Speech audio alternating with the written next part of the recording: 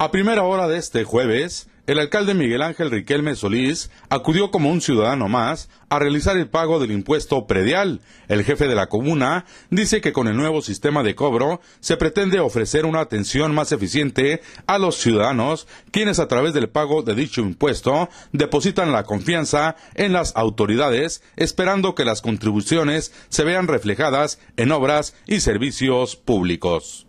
Poniendo el ejemplo, creo que me da mucho gusto ver la afluencia de gente. Yo espero que con el transcurso de los días todavía esté más organizado y, haya una mucho mejor atención para los contribuyentes. Y, yo veo con mucho gusto los adultos mayores que hoy acuden a, pagar y que, y que son muy cumplidos y que con estas nuevas oficinas, con estas nuevas instalaciones, lo que menos esperamos es que hagan más tiempo del que estaban en las otras oficinas. Hoy lo que buscamos es eficiencia buena atención al público, a todos invitarlos a que nos ayuden pagando sus impuestos. Todas las obras y todos los proyectos que tiene el municipio dependen de eso, precisamente de la contribución ciudadana. Y, les pido toda su confianza para depositar en nosotros, eh, en esta administración, el pago de sus impuestos, que finalmente redundarán en obras para nuestro municipio.